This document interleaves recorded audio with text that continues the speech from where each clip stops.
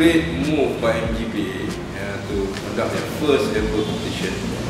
They also gave an opportunity of public, uh, we call it perception and interception with between MGPA and the public also. Uh, it's a good uh, platform for you to uh, NGPA as a brand, uh, a station that represent the gift premium product.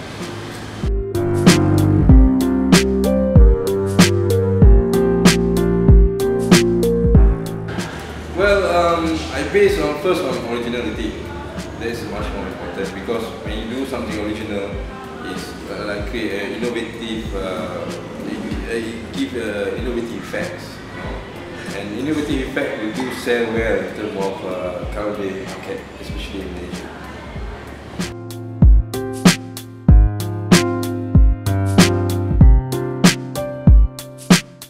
Uh, yes, I believe so. Only that, that they lack of uh, platform to expose their talent, you know. So what MGPA do is, I think, is the perfect for them to expose it.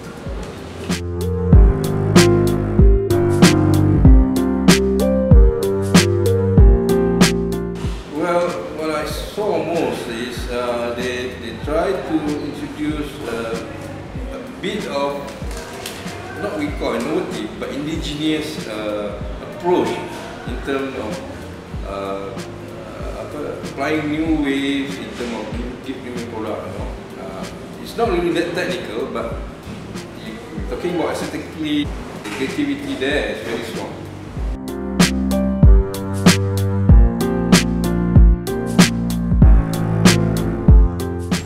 Well, as I say again, originality is the and beside originality, the second good thing is the uh, call it, the marketable of the, the product.